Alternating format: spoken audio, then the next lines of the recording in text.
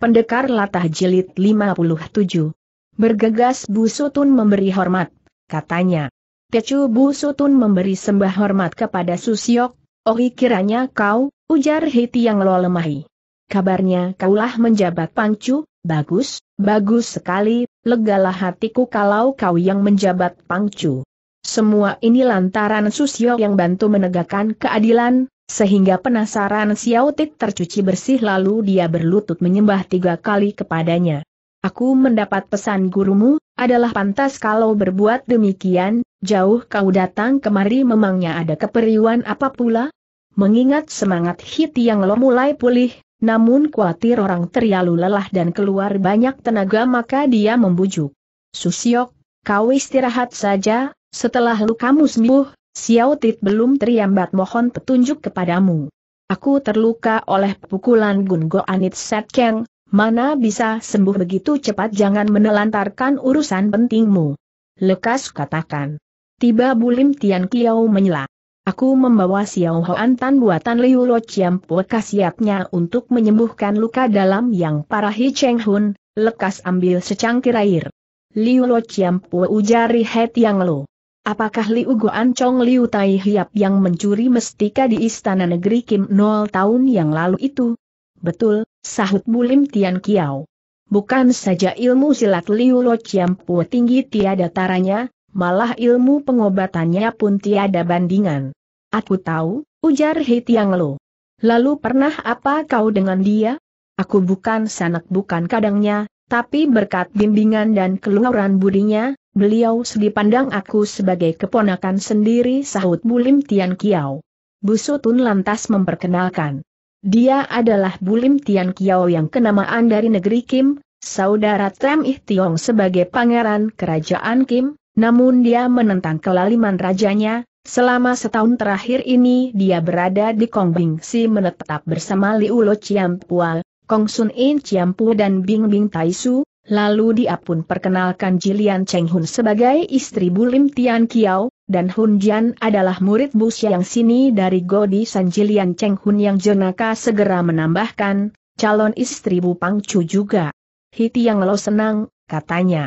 Punya guru berbudi teladan kental, mendapat murid Bu yang sini untuk mendirikan mahligai keluarga lagi, sungguh senang dan bahagia sekali kau ini.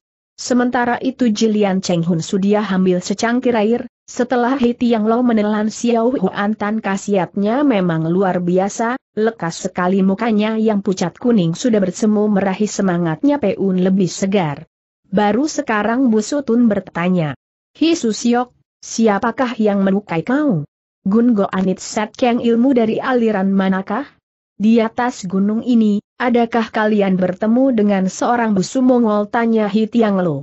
Apakah busu Mongol yang bernama Ibun Ho Akip?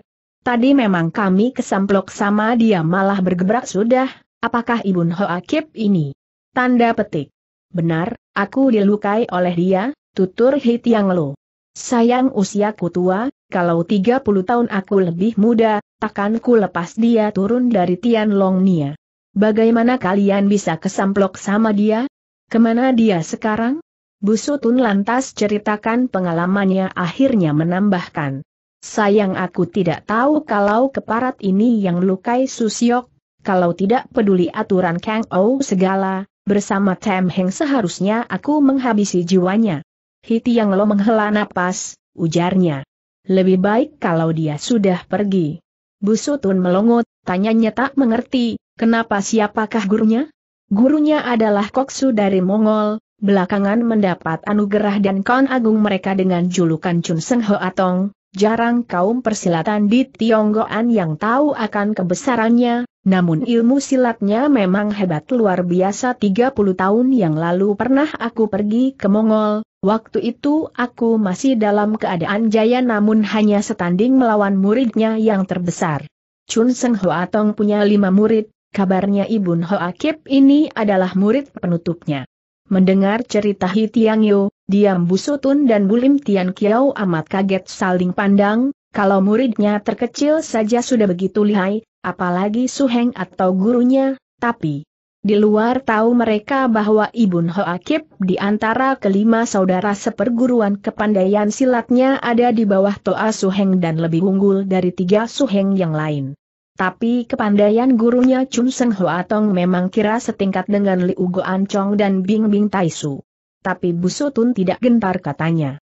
Kerajaan Mongol baru berdiri, namun ambisi raja mereka amat besar dari apa yang kudengar dari omongan Ibun Hoakip naganya mereka ada maksud melenyapkan kerajaan Kim dan mencaplok Song pula, jelas Kei Pang pasti akan memusuhinya, kalah menang Tecu tetap akan menempur.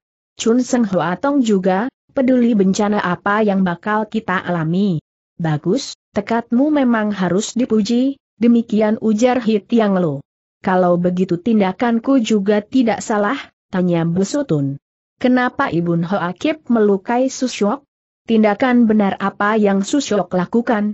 Aku tidak tahu care bagaimana dia tahu tempat tinggalku, datang dia berkhotbah panjang lebar, tujuannya menghasut dan memecah belah kaipang kita.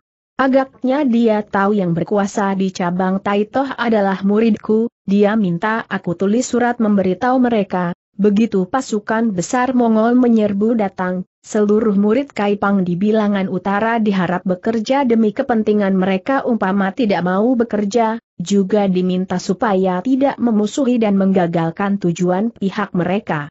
Dia kira Kaipang menentang kerajaan Kim, Mongol juga hendak melenyapkan kerajaan Kim, adalah jamak dan pantas kalau Kaipang kerjasama dengan mereka. Bagaimana Susok memberi jawaban tanya Busutun? sudah tentu ku tolak mentah. Memang kita tentang kerajaan Kim, namun kita tak sedih diperalat oleh Mongol. Kalau karena itu kita terjebak bukankah mirip peribahasa yang mengatakan di depan pintu mengusir harimau, serigala masuk dari pintu belakang maka ku tolak permintaannya. Tanda petik. Tepat jawaban Susyok, ujar Busutun. Ibun Akip juga menghasut kami, namun mentah kita tolaki. Karena hasutannya gagal, dia lantas tarik muka dan turun tangan, aku sudah teriuka oleh Gungo Anit Satkang, namun kutahan jangan sampai dia tahu aku teriuka akhirnya dengan sisa tenagaku yang penghabisan, dengan Kim Kong Chiang aku pun berhasil melukai dia, akhirnya dia lari mencawat ekor peristiwa ini terjadi kemarin. Aku tahu dengan tenaga tuaku aku hanya bisa melukai ringan saja, dengan kekebalan lukangnya dalam sehari lukanya pasti sudah sembuh, sebaliknya aku sendiri tak mampu berkutik lagi, keinginan bunuh diri pun tak mampu. Maka aku siaga hari ini dah akan datang lagi membunuhku, tak kira malah kalian yang keburu datang. Baiklah setelah luka Susyok sembuh kita turun gunung bersama, maksud kedatanganku memang hendak minta Susyok turun gunung, pergi ke Taitohi membereskan tugas rutin dalam Kaipangi bagian utara. Hiti yang lo geleng, ujarnya. Tidak ki aku tidak akan turun gunung, soal tugas rutin, kau boleh bawa pak kau pang milikku tunjukkan kepada kisuhengmu di Taitoh dia pasti patuh dan tunduk akan perintahmu. Tersipu Busutun menjura menerima pak kau pang orang, katanya. Xiao Tit akan berangkat setelah luka Susyok sembuh, betapapun aku mengharap Susyok suka turun gunung bersama kami. Sudah teguh putusanku, aku tidak akan turun gunung. Tapi kau boleh lekas berangkat tak usah menunggu lukaku sembuh, urusan besar bisa terlantar karena terlambat. Tak apa, paling aku tinggal tiga hari lagi, sahut Bu Sutun. Begitupun baik, kau temani aku beberapa hari lagi, sejak bertemu di Taitoh dulu, sudah sekian tahun aku tak pernah melihatmu lagi. Waktu mereka bercakap, Hun Jian dan Jilian Cheng Hun, masuk dapur bikin nasi masak sayuan, untuk Hiti yang Lo yang masih lemah mereka khusus buatkan bubur, sehari semalam Hiti yang Lo tidak makan minum, setelah semangatnya pulih, perutnya seketika keroncongan. Banyak terima kasih, bikin kalian sibuk saja, demikian katanya. Beras, sayuran kayu bakar dan bumbu semua tersedia, kita kan hanya mengerjakan saja, demikian kata Uncian tertawa. Mau tidak mau Hiti yang lo bersedih karena kematian kedua anjingnya yang setia, kiranya selama ini kedua anjing itu telah banyak memberi bantuan kepadanya. Karena sayuran yang tersedia dan kayu bakar adalah hasil kerja dari kedua anjing itu yang sudah dididiknya kerja dengan baik. Bu Sutun berkata setelah makan nasi. Jian, kenapa kau kelihatan begini lesu, makam pun kelihatan tak punya selera? Hiti yang lo tertawa, katanya. Coba biar ku terka, Nonahun, bukankah kau merasa bau kembang ini rada aneh dan ganjil? Memang, Kurasakan bau kembang di sini berlainan dengan semerbak kembang wangi yang pernah kucium di tempat lain, rasanya menjadi malas dan kurang semangat. Tapi ini hanya perasaanku saja entah bagaimana dengan kalian? Aneh, memang demikian, ujar Bulim Tian Kiao dan Bu Sutin berbareng.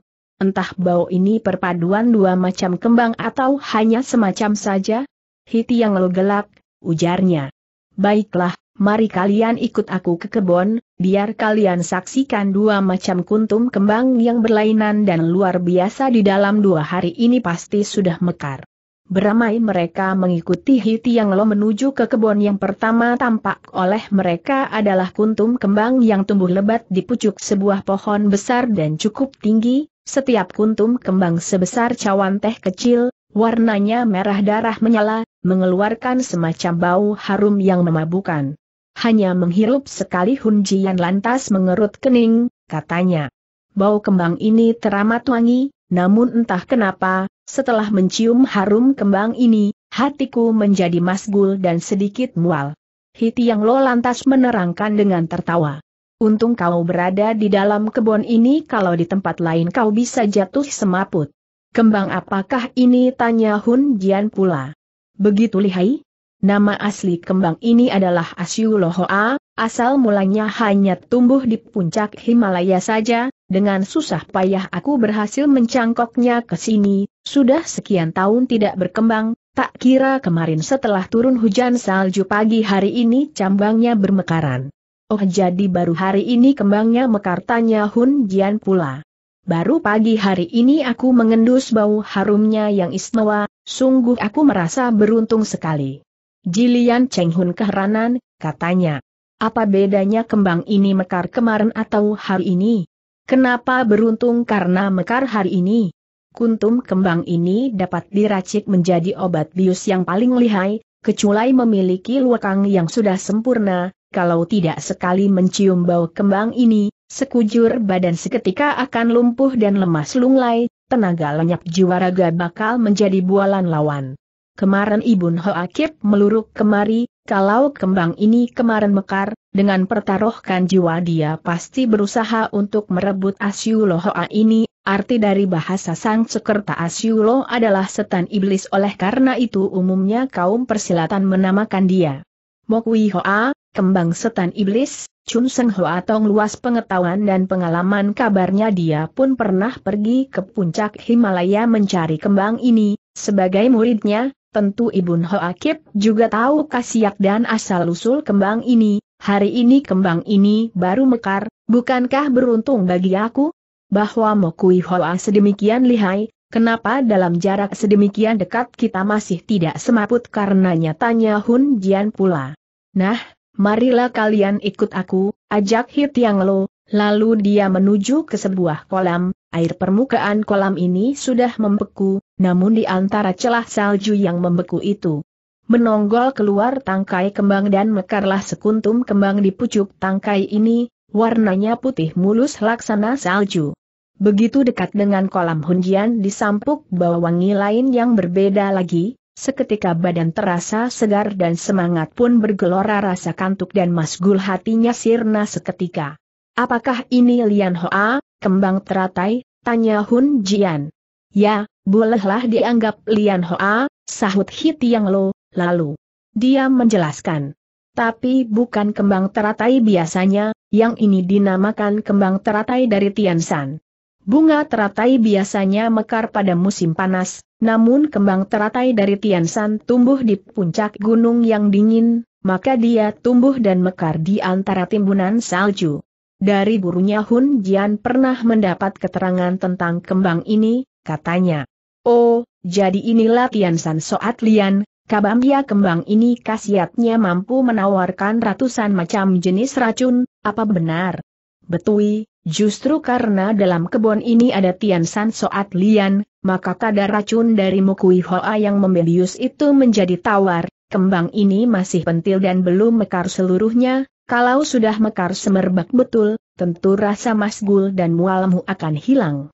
Kalau begitu Tian San Soat Lian kan lebih sukar diperoleh dari Mokui Hoa. Kembali Hun Jian mengajukan pertanyaan.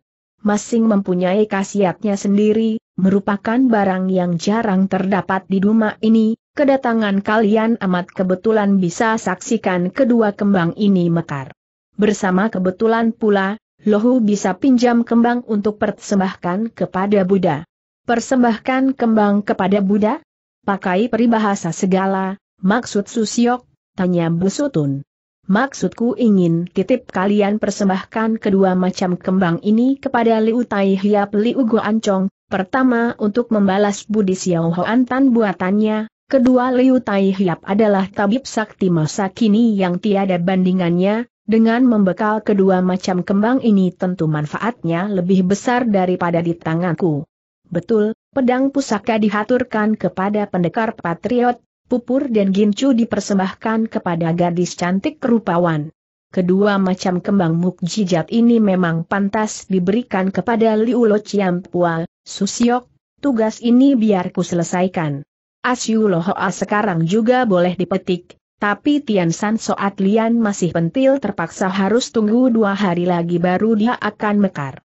Tunggu beberapa hari lagi juga tak jadi soal ujar Busutun.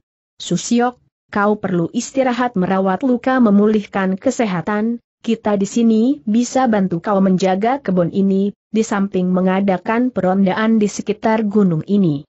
Begitupun baik, yang ku khawatirkan hanya Ibun Kakip bakal balik pula, ada kalian di sini, aku tidak perlu khawatir dia meluruk datang pula. Apakah Susyok tahu akan Sinto Taibi dan Liu Goanka? 30 tahun yang lalu aku pernah bertemu dengan Taibi waktu itu Yan Imci belum terlatih baik olehnya, kejahatannya juga tidak keliwat batas, pernah aku mewakili gurumu memberi peringatan kepadanya, dia berjanji tidak mencari permusuhan dengan Kaipang, maka aku tidak melabraknya. Tapi kudengar dia ada membuat onar dikala kau diangkat menjadi pangcu tempo hari, apa benar? Busutun mengiyakan, lalu ceritakan kejadian di Siu yang lau tempo hari. Agaknya dulu dia gentar menghadapi Suheng, setelah guru muafat, dia sangka Kaipang, tiada jago yang perlu dia takuti, maka sengaja berani datang membuat gara. Itu hanya salah satu sebab. Yang lebih penting karena dia sudah diangkat menjadi koksu negeri Kim, maka besar tekadnya hendak memberantas orang Kaipang kita, Lalu dia jelaskan pula intrik Tai Bi dan Liu Goan Ka. Oh, kiranya begitu, lalu kenapa kau sengaja menyinggung mereka kepadaku? Menurut kabar yang kami terima, katanya mereka pernah muncul di sekitar Tian Long Nia ini. Begitu? Aku kok belum pernah melihat mereka atau munikin mereka belum tahu tempat pengasinganku ini. Hun Jian tertawa, ujarnya. Ada Tem Suheng suami istri di sini, kukira kedua bangsat tua itu takkan berani kemari, untung Ibun Hoakip sudah kita gebah lari tentu dia sudah turun gunung. Dugaan Hunjian hanya kena sebagian saja, memang semula Ibun Hoakip mau turun gunung, tapi setiba di lamping gunung, dia putar balik lagi. Nah sekarang marilah kita ikuti perjalanan Ibun Hoakip yang melarikan diri setelah dikalahkan oleh Busutun dan Bulim Tian Kiao, sebetulnya dia tidak lari jauh, hanya sembunyi di dalam hutan. Ternyata tujuannya kali ini hendak melabrak Hiti yang lo pula, meski tidak tahu orang sudah teriuka, namun dia kira karena orang sudah tua renta tenaga lemah tentu dalam waktu dekat kesehatannya takkan bisa pulih dengan cepat pikirnya hendak dia tunggu setelah Bulim Tian Kiao dan lain pergi, dia akan melabrak Hiti yang lo lagi. Tak kira dilihatnya Bu Sutun dan Bulim Tian Kiao berempat malah memasuki rumah batu kediaman Hiti yang lo maka perhitungannya semula menjadi gagal total, Betapapun besar nyalinya dengan kehadiran keempat anak muda ini takkan berani dia mencari penyakit di sana. Terpaksa diam-diam mengeloyor pergi, namun baru saja dia mau turun gunung, hembusan angin gunung yang menyampuk hidungnya membawa bau harum Mokui Hoa dan Tian San Soat Lian, walau kedua macam bau kembang ini terbaur, namun Ibun Hoa Kip bisa membedakan. Kejut girang dan menyesal lagi Ibun Hoakip perlu dijelaskan kedatangan Ibun Hoakip kali ini adalah atas perintah Khan Agung Raja junjungannya di Mongol untuk menyelundup ke Tionggoan, tugas pertama menyelidik situasi dan mengamati strategis militer negeri Song Selatan, kedua mengumpulkan dan menggaruk sebanyak mungkin orang pandai yang kemaru pangkat dan harta untuk diperalat menjadi antek mereka. Ketiga, hendak menyogok dan mempengaruhi beberapa pang HWE atau golongan dan sindikat yang mempunyai pengaruh di daerah masing supaya kelak bila pasukan Mongol mengadakan intervensi bisa dapat simpatik pihak Kaipang. Tak nyana usahanya terhadap Hit yang lo gagal total sampai terpaksa dia turun tangan, semula dia segan membunuh Hit yang lo, namun setelah tugas rahasianya ini diketahui orang, kalau Hit yang lo tidak dibunuh, akhirnya bakal menjadi bibit bencana bagi dirinya dan pihak negerinya. Karena beberapa tugasnya tidak berhasil dilaksanakan, mau tidak mau Ibun Hoakib berpikir, aku tak bisa tinggal lama di gunung ini. Biar aku lekas pulang memberi laporan kepada suhu tentang kedua kembang mujizat itu. Kabar ini merupakan pahala yang berharga juga bagiku. Maka dia turun gunung pikirnya hendak langsung pulang ke Mongol, Tak nyana setiba dia di lamping gunung terjadilah suatu peristiwa di luar dugaan. Di saat dia berjalan dengan dongkol dan hambar, tiba didengarnya ada suara sambaran senjata rahasia yang memecah udara. Belum kelihatan bayangan orang, senjata rahasia menyambar lebih dulu, dari daya sambaran senjata rahasia yang kencang ini bercekat hati Ibun Hoakip lekas dia jemput sebutir batu dengan tanci sintong dia selentik batu itu memapak ke depan. Tok dua batu beradu di tengah udara, batu selentikan Ibun Hoakip hancur, sebaliknya batu lawan menceng dan jatuh ke tanah namun tidak pecah, agaknya Luekang menimpuk batu ini lebih tinggi seurat dari Ibun Hoakip.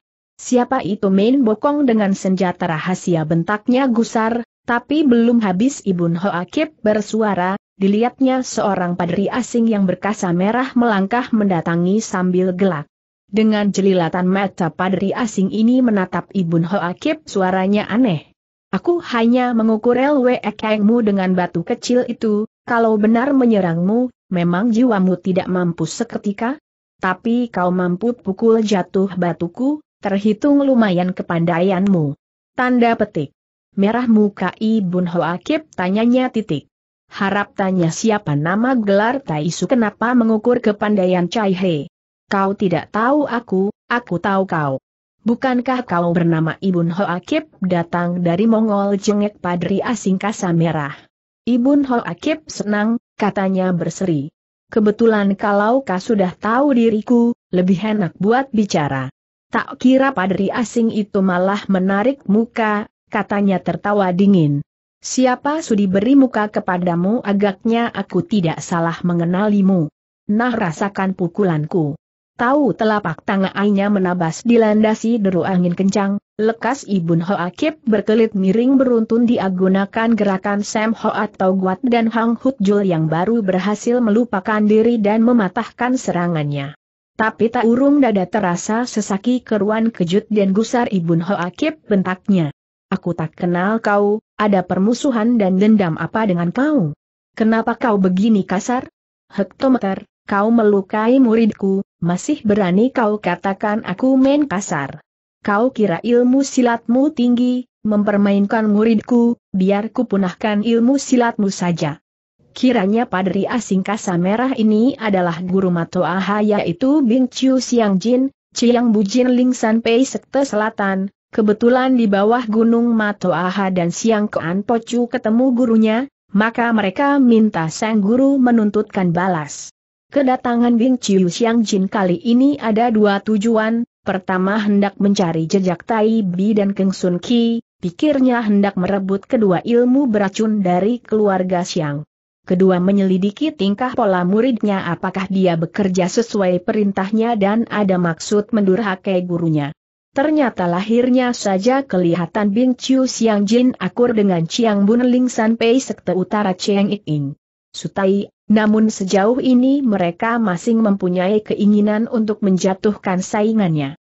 Setelah mengutus muridnya Matoa Ha, pergi ke Tian Long Nia, dia mendapat kabar pula bahwa Cheng Iing Sutai juga mengutus putrinya pergi ke Tian Long Nia dengan tujuan sama, Kuatir Matoaha setelah mendapat kedua ilmu beracun Ita diberikan kepada Cheng Ling Sutai atas hasutan Siang Koan Pocu, maka bergegas dia menyusul datang. Setiba di Tian Long Nia, kebetulan kesamplok dengan Matoaha dan Siang Koan Pocu yang lari membawa luka, sudah tentu Mato Aha dibantu Siang Kean Pocu menghasut padanya untuk menuntut balas kepada musuh yang dikatakan busu Mongol maka Bing Chiu Siang Jin segera meluruk ke atas gunung dan bertemu di tengah jalan dengan Ibun Hoa Kip. Luekang Ibun Hoa Kip memang setingkat lebih rendahi namun kepandaiannya cukup lihai, sekali pukul jelas Bing Chiu Siang Jin takkan mampu melukai dia, Tersipu Ibun Hoakip berseru mohon damai saja, namun Bing Chiu Siang Jin tidak memberi hati, bentaknya. Baik, kalau kau tahu salah. Nah berlututlah minta ampun, kalau tidak ilmu silatmu harus kubikin punah. Kapan Ibun Hoakip pernah dihina dan dipermainkan begini rupa terbakar juga amarahnya, jengeknya menantang. Seorang laku sejati lebih baik gugur daripada dihina, bahwa aku mau mohon damai kepadamu. Tahukah kau siapa aku? Peduli siapa kau? Bentak Bing Chiu Siang Jin, kembali dia lontarkan pukulannya, kali ini dia kerahkan delapan bagian tenaganya, deru anginnya bagai hujan badai. Kali ini Ibun Hoakip sudah siaga, tenaga murni dia pusatkan di telapak tangan lalu melontarkan gua goanit set keng, secara kekerasan dia sambut pukulan Bing Chiu Siang Jin. Gun Go Anit Set Keng adalah ilmu tunggal ajaran guru Ibun Hoakip yaitu Chun Seng Hoatong, kekerasan tenaga pukulannya yang ganas kira setanding dengan Tailik, Kim Kong Chiang dari Xiao Lim Pei, di kalangan sesat sudah boleh terhitung ilmu pukulan nomor wahid.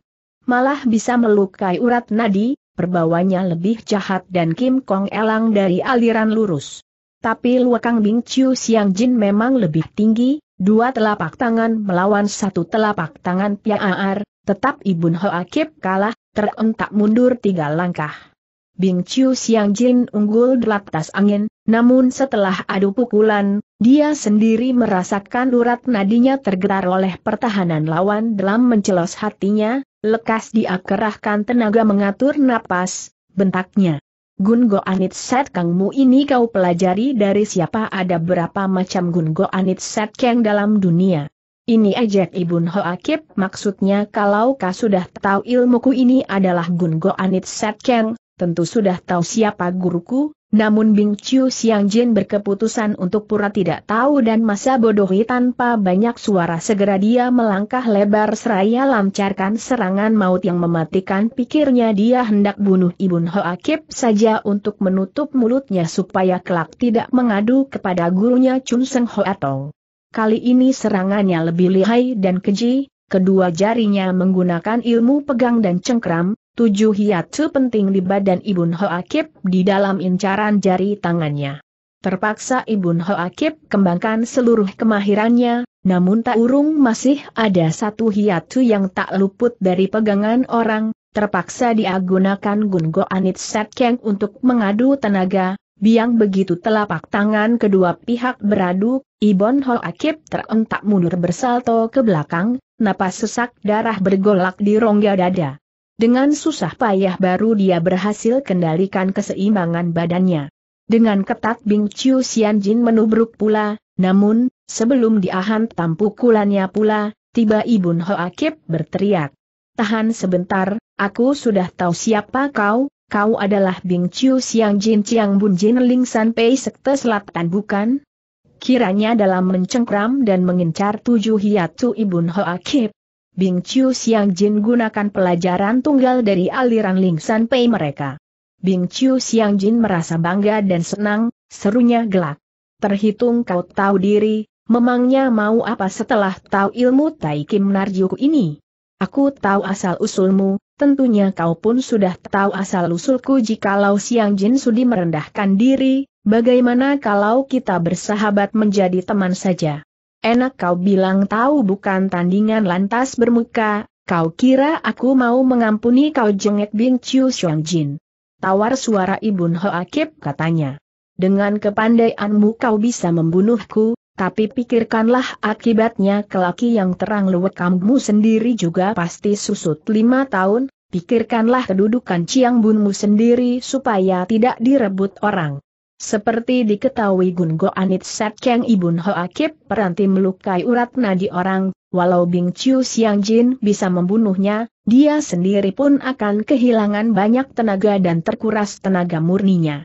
Tapi Bing Chiu Siang Jin paling mengagulkan pamor dan gengsi, di samping khawatir bila Ibun Hoakip dibiarkan hidup kelak malah bakal mendatangkan bencana dengan hasutannya kepada sang guru Chun Sen Hoatong yang akan menuntut balas kepada dirinya, maka dia tekatkan hati dan keraskan kepala jengeknya. Kau menghina muridku, masa aku harus pandang kau sebagai teman malah? Memang aku salah paham melukai kedua muridmu, soalnya aku tidak tahu asal-usul mereka, oleh karena itu, ingin aku haturkan dua macam benda mestika kepadamu sebagai permintaan maafku, bagaimana? Benda mestika yang jarang dalam dunia, apa itu tanya Bing Chiu Xiong Jin. Kembang Asyulo dan Tian San Soat Lian, bukankah kedua macam kembang ini merupakan benda mestika yang jarang didapat? Bersinar mata Bing Chiu Xiang Jin, katanya. Kau punya kedua macam kembang mestika itu? Aku tidak percaya, coba keluarkan dulu biar kulihat. Ling San Pei memang aliran yang mahir menggunakan senjata rahasia berbisa, kedua macam kembang itu di samping bisa dibuat bubuk bius, juga bisa digunakan obat mujarab. Keduanya amat berguna bagi Bing Chiu Xiang Jin. Kalau Xiang Jin ingin memperoleh kedua kembang itu, nah marilah ikut aku. Terpaksa Bing Chiu Xiang Jin mengikuti di belakangnya, setelah berlari cukup Yama setiba di samping gunung betul juga hidungnya segera mengendus bau wangi dari kembang asyulo dan teratai salju. Keruan girang dan kaget Bing Chiu Xiang Jin bukan main, namun dia pun curiga, tiba dia hentikan langkai katanya. Kau sudah menemukan kedua macam kembang itu kenapa tidak kau ambil sendiri? Terus terang, Rumah batu itu dihuni seorang jago koson, seorang diri aku bukan tandingannya, kalau kita berdua mengeroyoknya, jelas kita akan merobohkan dia dan merebut kembang itu. Siapakah tokoh kosen yang kau maksud? Mereka adalah Hiti yang lo dari Kaipang, Kaipang Pangcu yang baru bernama Bu Sutun, seorang lagi adalah Bulim Tian Kiao dari negeri Kim beserta istri Meneka. Sudah sepuluhan tahun Bing Chiu Siang Jin tidak turun gunung dia hanya tahu asal-usul Hiti yang lo, maka dia bergelak tawa, katanya. Ilmu silat Hitin memang lihai, namun dia bukan jago koson, yang lain malah angkatan lebih muda, betapa tinggi kepandaiannya, masakah lebih tinggi dari pengemis tua bangka itu? Siang Jin jangan pandang rendah mereka, Hitin sudah tua tenaga lemah.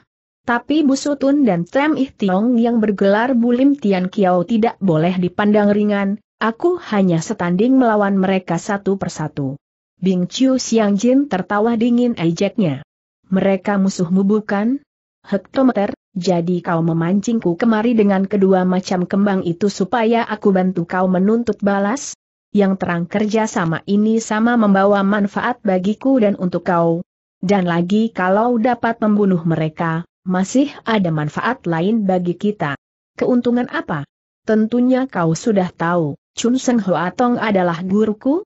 Memangnya kenapa mau tidak mau Bing Chiu Siang Jin harus merubah sikap setelah orang menyebut nama gurunya? Ilmu silat gurumu memang tiada tandingan di jagat, sudah lama aku mengaguminya, tapi aku tidak ingin menarik keuntungan apa dari beliau. Guruku sudah terima undangan temu Jain dan sekarang diangkat sebagai koksu negeri Mongol. Oh, hal ini sih aku belum tahu, memangnya kenapa temu Jin berambisi besar tak lama lagi akan kerahkan. Pasukan mencaplok Song melalap Kim menyatukan seluruh bangsa Tionghoa, Terus terang, aku mendapat perintah rahasia untuk mencari tahu keadaan negeri Kim di samping menarik dan mengundang tokoh silat yang mau bekerja bagi Khan Agung. Mereka tidak terima undangan malah menentang Mongol, jikalau Siang Jin mau bantu aku membunuh mereka berarti mendirikan pahala besar bagi Khan Agung dari Mongol. Kedua macam kembang itu boleh menjadi milik Siang Jin di samping ada hadiah besar lain dari Khan Agung, malah kemungkinan kelak Siang Jin akan diangkat menjadi koksu di negeri jajahan, inilah kesempatan terbaik bagi Siang Jin untuk memperluas ajaran perguruan sendiri. Tanda petik. Legalah hati Bing Chiu Siang Jin mendengar penjelasan Ibun Hoakip katanya gelak. Lote, kenapa tidak sejak tadi kau jelaskan? Kalau sejak mula tahu kau murid Chun Seng Hoatong, bertugas bagi kepentingan gurunya lagi, tentu tidak akan terjadi salah paham. Baiklah, terhitung tanpa berkelahi takkan berkenalan di hadapan Kon Agung, sukalah kau bantu memberikan penjelasan akan kesetianku kepadanya. Nah, sekarang mari kita luruk ke sana. Dalam pada itu Hiti yang lo sedang menjelaskan kembang mestika itu di dalam taman, tiba didengarnya suara derap langkah di tanah bersalju di luar rumah segera Hiti yang lo membentak. Siapa di luar? Terdengar Ibun Hoakip gelak di luar, serunya. Hilo tahu, Iseng benar kau ini, lu kamu belum sembuh namun sudah jalan di kebun? Agaknya kau ini memang orang pelit, dalam taman kau tanam kembang mestika, kenapa tidak bagi rata kepada teman lain? Maaf ya, ku bawa seorang teman tanpa diundang kami luruk sendiri ke sini. Ku harap kau tidak pandang kita sebagai tamu jahat. Lenyap suaranya tahu bersama Bing Chiu Xiang Jin, Ibon Ho Akip sudah lompat naik dan berdiri di atas pagar tembok. Bu Sutun kontan menyambut dengan hardikan. Turunlah, Big Hong Chiang yang dia lancarkan mengeluarkan suara gemuruh seperti guntur, bagai gugur gunung angin pukulannya menerjang ke arah Bing Chiu Xiang Jin. Bing Chiu Xiang Jin gelak serunya. Tai Kim Kong Chiang dari Keipang memang hebat, namun jangan sangka bisa merobohkan aku keluar tembok. Nah, lihatlah aku ingin turun ke dalam malah. Habis katanya, orangnya pun sudah melompat turun dan hinggap di dalam taman. Ilmu silat busutun tinggi bernyali besar, namun kali ini dia betul kaget karena lawan kelihatan wajar menghadapi gelombang pukulannya tapi di luar tahunya, dada Bing Chiu Siang Jim pun sakitnya seperti dipukul godam, tapi tingkat kepandaiannya memang sedikit tunggul dari Ibun Hoakip begitu menghadapi damparan angin pukulan busutun dia. Kerahkan tenaga dalamnya, maka kelihatannya tidak mengalami apa. Ibun Hoakip cukup cerdik, dia melompat di belakang Bing Chiu Xiang Jen maka dengan leluasa dia pun melompat turun di dalam taman. Begitu kaki menginjak tanah langsung Bing Chiu Xiang Jin lari menuju ke arah kembang Asyulo, Serunya terbahak. Buat apa cerewet dengan mereka, bukan saja aku ingin menikmati indahnya kuntum kembang, aku pun hendak memetiknya. Hiti yang lo berada di depan pohon kembangnya, baru saja dia hendak maju memapak musuh. Bulim Tian Kiau sudah mendahului katanya. Biarlah orang si Tem yang mengusir tamu jahat ini. Dengan jurus Hun Hoa Hut Liu, membagi kembang mengebas pohon liu, Kedua tangan Bulim Tian Kiao bergerak dengan tipu serangan isi kosong berbareng tanpa bersuara, namun kekuatan pukulan tangannya menggulung bagai gelombang lautan dahsyatnya Bing Chiu Siang Rjin tak berjaga, kontan dia tertolak mundur tiga langkah, lekas dia kebas lengan jubahnya baru bisa memunahkan separuh damparan gelombang pukulan orang. Berkilat biji metu Bing Chiu Siang Jin, katanya keras kau nikah Temih Tiong yang bergelar Bulim Tian Kiau itu? Baik, aku beri tiga jurus kelonggaran kepadamu, supaya kau tidak congkak lagi. Kau ini barang apa? Berani begini tak kabur cukup sejurus, tanggung kau balas menyenang kepadaku, jengek Bulim Tian Kiau, dia tahu Luakang Bing Chiu Siang Jin lebih tinggi, namun dia yakin Lok Eng Chi yang At ciptaannya amat berguna untuk menghadapi lawan setanggul Liu Goan Ka, tak laku untuk menghadapi Bing Chiu Siang Jin, maka dia harus gunakan senjata, tahu dengan suara melengking tiupan serulingnya menerjang musuhi. disusul lapisan bayangan seruling yang bersusun tak terhitung banyaknya mengurung lawan. Sebagai seorang maha guru silat dari suatu aliran, sudah tentu Bing Chiu Siang Jin cukup mampu menilai bahwa sejurus permainan seruling Bulim Tian Kiau sekaligus mengincar enam hiatu di badannya. Betapapun tinggi dan luas pengalaman Bing Chiu Siang Jin, Selama hidupnya belum pernah dia melihat atau menghadapi ilmu tutuk yang begini lihai dan menakjubkan. Agaknya Bulim Tian Kiao lancarkan Keng Sin Hoat yang dapat dia pelajari dari petunjuk Liu Goa Encong, itulah ilmu tutuk yang tiada taranya di kolong langit dengan seruling sebagai jari, maka tipu serangan ilmu tutuk Bulim Tian Kiao ini bertambah perubahannya dan lebih memperlihatkan perbawanya pula. Karena tak mampu berkelit, Terpaksa Bing Chiu Si Anjin lontarkan pukulan untuk melawan, kedua telapak tangannya bergerak dengan Tai Kim Najiu, gerakan tangannya membawa deru angin yang kencang dan kuat, bukan saja bisa memunahkan terjangan angin seruling yang hebat itu di dalam sejurus permainannya ini, sekaligus dia pun mengincar tujuh hiatu di badan Bulim Tian Kiao. Kedua pihak serang menyerang, Luekang Bing Chiu Siang Jin lebih tinggi, namun Bulim Tian Kiao kembangkan gerakan badannya yang enteng lincah laksana aliran mega dan air, pada detik yang menentukan, dengan tepat dia bisa meluputkan diri, sehingga kedua pihak tidak sampai cedera. Tapi Bing Chiu Siang Jin sudah terlanjur bermulut besar, katanya hendak memberi tiga jurus peluang kepada Bulim Tian Kiao, kini kenyataan hanya segebrak saja dia sudah dipaksa turun tangan mempertahankan diri, jelas pamornya sudah runtuh dan gengsi pun ikut turun. Kalau Bulim Tian Kiao sudah memapak Bing Chiu Siang Jin, maka Hiti yang lo menyongsong kedatangan Ibun Hoa Kip. Tapi Bu Sutun tidak biarkan Hiti yang lo melawannya, dia menerobos baju lebih dulu ke depan serta menyerang dengan tipu Hing Hun An Hong, awan melintang memapas gunung, tenaga telapak tangannya laksana golok membelah. Ibun Ho Akip yang lagi berlari maju seketika terbendung mundur. Yakin kepandaian murid keponakan yang hebat, terpaksa Hitin mengundurkan diri.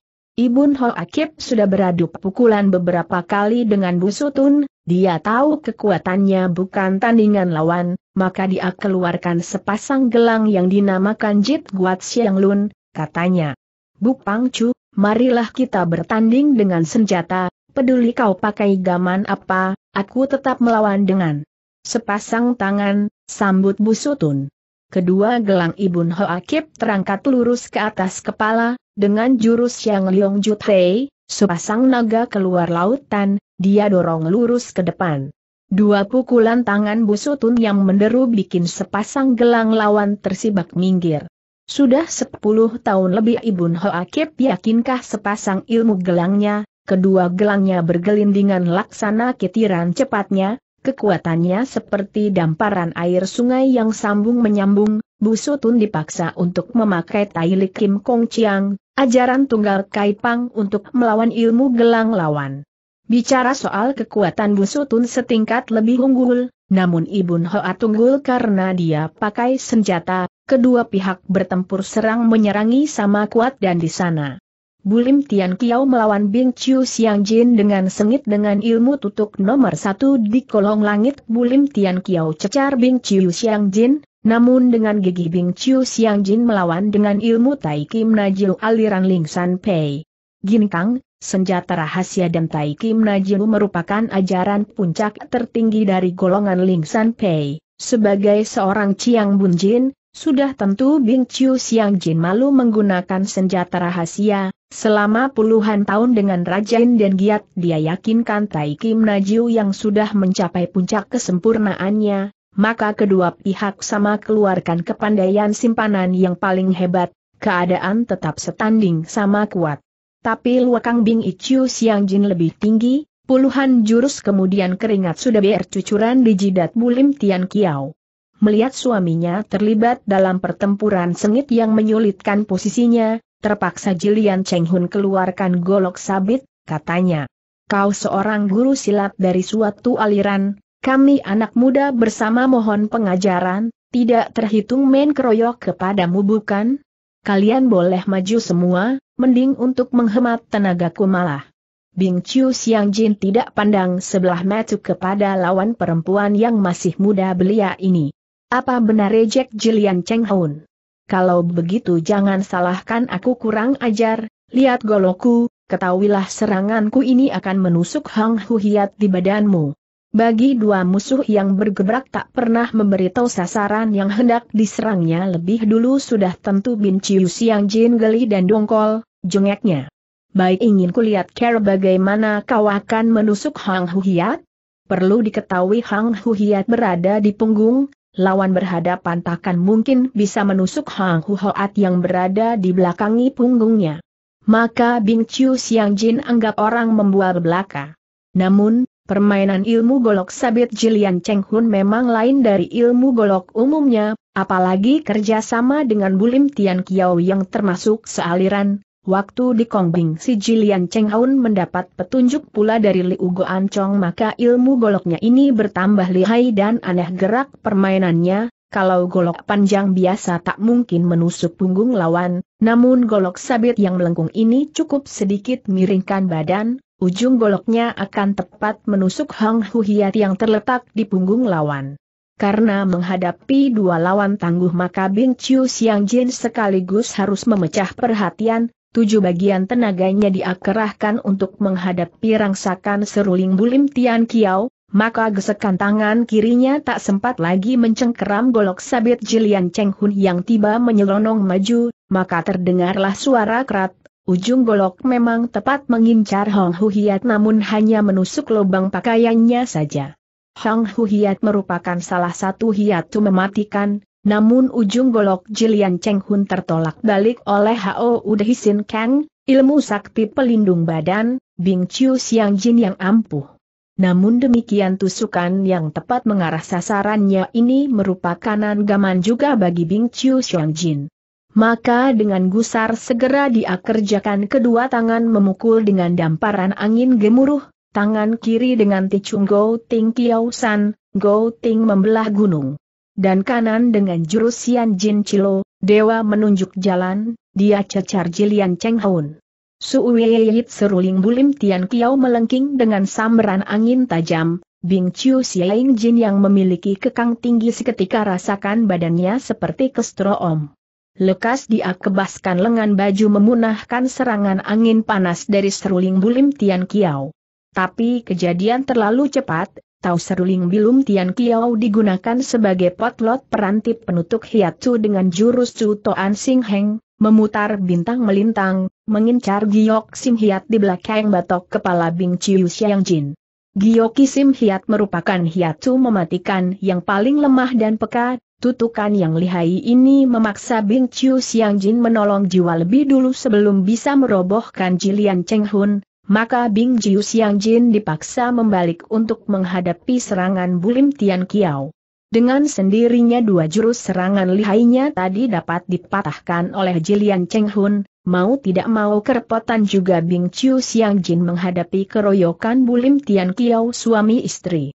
Tapi luakangnya tinggi tujuh jalan Tai Kim Naju yang dia yakinkan teramat ampuh, dalam waktu dekat Bulim Tian Kiao berdua jelas takkan mampu mengalahkannya.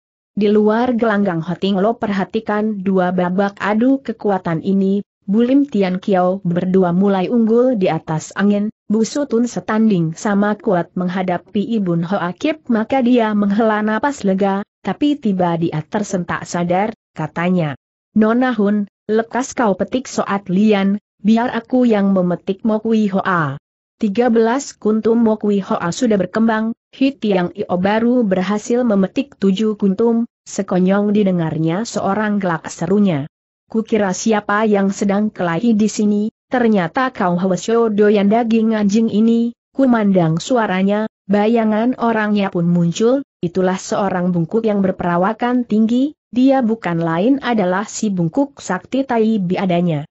Sinto Tai Bi adalah kenalan lama Bing Chiu Siang Jin, sudah tentu girangnya bukan main, Lekas dia berseru. Toheng tolong bantu sedikit kesulitanku, lekas kau rebut Tian San Soat Lian dan Mokui Hoa, kita boleh bagi rata nanti. Memang Taibi datang setelah mengendus bau kembang ini, katanya tertawa besar. Memangnya perlu kau cerewet, aku memang ingin merebutnya. Mokui Hoat tumbuh di atas pohon, tidak sukar untuk memetiknya sementara Tian San Soat Lian tumbuh di permukaan salju dalam kolam, rada sukar dan lebih banyak mengeluarkan tenaga untuk memetiknya. Baru saja dengan galah gantolan Hun Jian berhasil memetik sekuntum Soat Lian yang sudah mulai mekar, tahu Tai Bi menubruk ke arahnya. Hiti yang lo menghardi seraya mencegat ke depan Tai Bi, damratnya. Kembang ini akulah yang tanam, Mana boleh kau mengambilnya? Taibi menyeringai dingin. Jadi kau ini majikannya, maaf, maaf, tiba dia tuding jari menutuk dari kejauhan, lekas hiti yang lo lontarkan pukulan, gerakan Taibi sementara dibendung, namun dia cukup licik, buntu di kanan tiba selicin belut dia menyelinap ke kiri terus menerobos dari samping hiti yang lo, serunya gelak. Kiranya kau hit yang lo dari Pang bagus, nanti akan kuminta pengajaran Kim Kong Chiang, sekarang aku harus pelik dulu Tian San Soat Lian itu. Pukulan hit yang lo memang sedikit tunggul, namun ia bergidik kedinginan juga oleh tuturkan Hian Im Chi Bi, maklumlah usia tua kondisi badan pun sudah lemahi darah badannya serasa hampir membeku. Lekas dia kerahkan tenaga murni mendesak keluar hawa dingin yang meresap tadi. Waktu dia berpaling dilihatnya Taibi sudah menerobos ke pinggir kolam dan sedang melabrak Hunjian. Kepandaian Hunjian memang jauh bukan tandingan Taibi, namun belakangan ini dia sudah memperdalam bus yang Kiam Hoat, dalam 0 sampai 30 jurus sedapat mungkin dia makan kuat bertahan. Hiti yang lo sudah merasakan kelihayan Hian Imci, maka cepat dia berteriak. Busutit, lekas kau hadapi bungkuk keparat itu, biar ku gebah bangsat yang satu ini. Sudah tentu Bu Sutun terkejut maklumlah Hiti yang lo hampir saja melayang jiwanya oleh pukulan Ibun Hoakip sudah tentu Bu Sutun tidak berani biarkan orang menempuh bahaya. Tapi dengan banting kaki Hiti yang lo mendesaknya, kenapa ayal jiwa Nona Hun terancam kaulah yang harus menyelamatkan dia titik jangan kau khawatir akan diriku aku punya. Cara untuk mengalahkan kunyuk ini. Sembari bicara dia mendesak maju menyambut serangan Ibun Hoakip maka tempat kedudukan Busutun dia gantikan. Terpaksa Busutun mengundurkan diri, dilihatnya Hunjian sudah terdesak di bawah angin oleh cecaran Taibi yang bertubi, dalam keadaan gawat ini tak sempat dia banyak pikir, terpaksa dia tinggalkan Hiti yang lo yang menghadapi Ibun Hoakip lekas dia menolong Hunjian yang terancam bahaya. Menghadapi Hiti yang Lo yang pernah dikalahkan Ibun Hoakip hendak menyimpan sepasang gelangnya tak kira Hitim malah menantang. Hari ini, biar aku adu senjata dengan kau. Sambil menenteng pakau pang segera dia merangsak maju. Ibun Hoakip mendengus Shina, setelah pertempuran kemarin, dia tahu usia Hiti yang Lo tua tenaga lemahi bertanding apa pun jelas dirinya di pihak yang unggul. Maka dengan acuh dan seenaknya saja dia dorong sepasang gelangnya ke arah Hitiang Lo. Tak nyana sekali angkat pakau pang hanya sedikit sampuk saja, gelang Ibun Hoakip tahu terpental pergi dan terang, kedua gelangnya saling beradu sendiri cepat sekali, tahu ujung tongkat penggebuk anjing Hitiang Lo sudah mengincar Iatu besar di depan dadanya. Baru sekarang Ibun Hoakip terkejut, Tersipu dia gunakan gerakan burung darah jumpalitan bersalto tiga tombak ke belakang, waktu Hiti yang lo menubruk datang, Ibon Ho Akip gunakan gelang rembulan melindungi badan, sementara gelang matahari diadorong dan tekan, inilah salah satu jurus ilmu gelangnya yang lihai dan mematikan, agaknya dia sudah kapok dan tak berani pandang rendah musuhnya, dengan kekuatan penuh sudah tentu hebat sekali dorongan gelangnya ini. Tak kira gerakan Pakau Panghiti yang lo amat lincah dan berputar seenteng mega mengembang, dengan mudah dan sepele dia punahkan serangan gelang yang mendorong dan menekan ini. Sebagai ahli silat, beruntun mengalami kerugian kecil, tiba tergerak hati Ibun Hoakip segera dia simpan sepasang gelangnya malah, katanya. Mengingat usiamu sudah tua, biar aku beri kelonggaran kepadamu, dengan sepasang kepalan aku layani permainan tongkatmu. Agaknya dia sudah meraba di mana letak kelihayan ilmu pentung Hitiang Lo, kalau dia juga pakai senjata, keadaan malah kurang menguntungkan. Kini dengan Big Hong Chiang, cukup asal pentung lawan tidak mengenai Hiat Sonia, Hiti yang Lo akan kewalahan dan akhirnya dipaksa untuk mengadu kekuatan secara keras. Mencelos hati Hiti yang Lo, sebetulnya dia sudah bertekad untuk melabrak musuh ini dengan gugur bersama, untuk ini dia sudah pikirkan suatu cara yang baik, namun kalau keadaan tidak terlalu mendesak tidak akan dia gunakan cara yang sekaligus akan merenggut jiwa sendiri. Tapi dengan tenang dan sewajarnya dia berkata, Baik, terserah keinginanmu, aku tetap hajar kau dengan pentung anjing ini. Setelah Ibun Hoakip menyerang dengan Big Hong Chiang, bertambah sulit pentung Hiti yang Lo untuk mengenai badan lawan. Tapi dalam jarak tiga tombak pukulan Ibun Hoakip tetap tak bisa melukai Hiti yang lo juga. Begitulah kedua pihak bertahan cukup lama, namun serang menyerang cukup berbahaya juga, sedikit Linda pasti jiwa takkan selamat lagi. Kedatangan Bu Sutun yang menolong calon istrinya amat kebetulan sekali, tatkala itu Hun Jian sudah bertahan 30.